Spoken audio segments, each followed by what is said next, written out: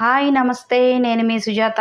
Welcome back to my channel Sai Priya recipes and blogs. Hi అండి ఈరోజు నేను మీకు గుమగుమలాడే రుచికరమైన ఎండు చేప కోడిగుడ్లు ఇగురిని ఎలా తయారు చేసుకోవాలో చూపించబోతున్నాను. నేను చేసినట్టు మీ ఇంట్లో వాళ్ళకి ఈ విధంగా కోడిగుడ్డుతోని ఇలా ఎండు చేపతో కాంబినేషన్గా ఇగురు చేసి పెట్టారనుకోండి లొట్టలు వేసుకొని తినేస్తారు. మరైతే అస్సలు ఆలస్యం చేయొద్దు. మనం ఈ కూర ఎలా తయారు చేసుకోవాలో చూసేద్దాం. ఎండి చేప కోడిగుడ్లు ఇగురు చేసుకోవటానికి ముందుగా మనం చేసుకోవాల్సిన ప్రిపరేషన్స్ ఉన్నాయి. అదేంటంటే గుడ్లు ఉడకబెట్టేసుకుని ఫస్ట్ ఇలా ఒలిచేసి పక్కన పెట్టేసుకోవాలి. అలాగే రెండు మీడియం సైజు ఉల్లిపాయలు మూడు పచ్చిమిర్చి కొద్దిగా ఉల్లికాడలు. మా పెరట్లో ఒక కోసిన ఉల్లికాడలు వాడుతున్నాను ఇక్కడ. వీటిని ఫైన్గా చాప్ చేసుకొని పక్కన పెట్టుకోవాలి. అలాగే ఎండు చేపల్ని బాగా గోరువెచ్చని నీళ్ళలోని ఒక మూడు సార్లు శుభ్రం చేసేసి ఇలా ఎండు చేపల్ని పక్కన పెట్టేసుకోండి. తర్వాత ఫైనల్గా మూడు మీడియం సైజ్ టొమాటోస్ని ఇలా చిన్న చిన్న ముక్కలుగా చాప్ చేసి పక్కన పెట్టేసుకోండి. ఓకే అయితే మనం ఇప్పుడు ప్రాసెస్ స్టార్ట్ చేసేద్దాం. ఇప్పుడు స్టవ్ ఆన్ చేసుకొని స్టవ్ పైన ఇలా ఒక కళాయి పెట్టుకోండి. ఈ కళాయిలోని నాలుగు టేబుల్ స్పూన్స్ ఆయిల్ వేసి వేడి చేసుకోవాలి.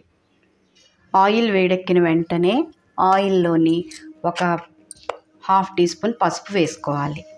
ఇలా పసుపు వేసిన వెంటనే ఈ కోడిగుడ్లని ఒక్కొక్కటిగా ఈ నూనెలో వేసేసుకుని బాగా వేయించేసుకోవాలి. ఇలా ఆయిల్లో పసుపు వేసిన తర్వాత మనం ఈ గుడ్లు వేయించుకున్నాం అనుకోండి మనకి ఈ గుడ్డు పైన ఉన్న తొక్క అనేది గట్టి పడకుండా మనకి కూరలో వేసిన తర్వాత కూడా చాలా స్మూత్గా ఉంటుందన్నమాట పై లేయర్ అనేది.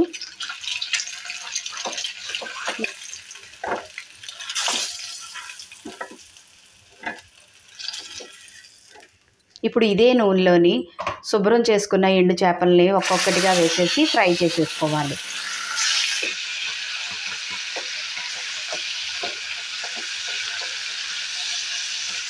ఈ ఎండు చేపలు కూరలో వేసుకోకపోయినా కూడా ఇలాగా ఉట్టిగా చిన్న పొడికారం జల్లేసుకొని తినేస్తే సూపర్ ఉంటాయండి అసలు. నాకు మీకు చెప్తుంటుంటే నోరు ఊరిపోతుంది ఇప్పుడు. అయితే ఇలా ఫ్రై అయిపోయాయి కదా. ఇప్పుడు వీటన్నిటిని కూడా ప్లేట్లోకి తీసేసుకుందాం. ఎండు చేపలు తీసేసుకున్నాక ఈ మిగిలిన ఆయిల్లోని ఉల్లిపాయ ముక్కలు పచ్చిమిర్చి ముక్కలు వేసేసుకోవాలి. ఈ ఉల్లికాయలను కూడా వేసేసుకోండి. ఫైనల్గా లాస్ట్లో కూడా వేసుకోవచ్చు. అయితే స్టార్టింగ్లో వేసుకుంటే మనకి కొంచెం ఆ, ఉల్లికాళ్ళ ఫ్లేవర్ అనేది కొంచెం డిఫరెంట్గా ఉంటుందన్నమాట.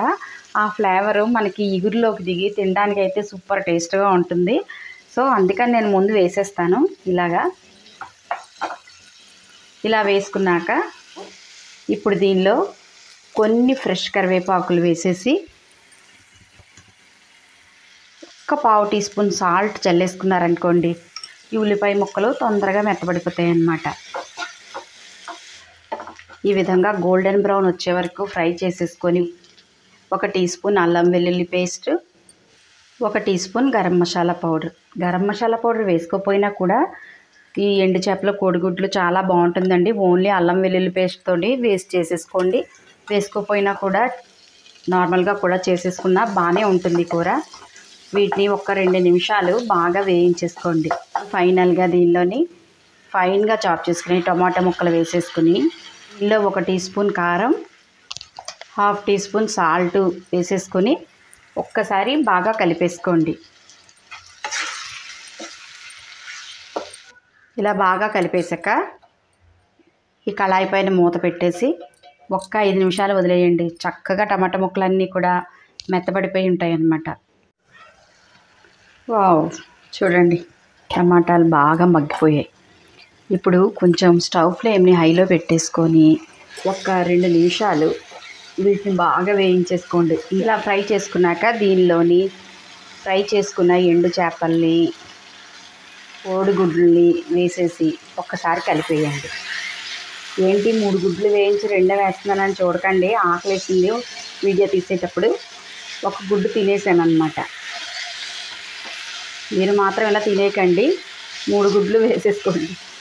ఇప్పుడు ఈ కూరలోని నీటిని వేసుకోవాలి. కొంచెం ఈ ఎండు చేప ముక్కలు మునిగే వరకు వేసుకుంటే సరిపోతుంది. ఇప్పుడు ఈ కళాయి పైన మూత పెట్టేసుకుని ఈ వాటర్ అంతా కొంచెం దగ్గర అయ్యే వరకు మరీ దగ్గర కాదు కొంచెం దగ్గర అయ్యి ఇగురులాగా వచ్చే వరకు మనం స్టవ్ ఫ్లేమ్ని సిమ్లో పెట్టేసుకుని ఉడికించుకోవాలన్నమాట.